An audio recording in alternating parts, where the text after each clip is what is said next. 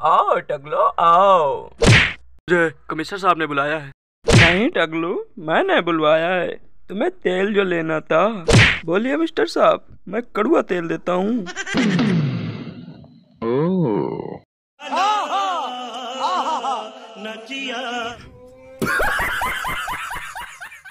तो बताइए टक्कल जी कौन सा तेल लेना पसंद करेंगे सरसों का तेल या शांडे का तेल?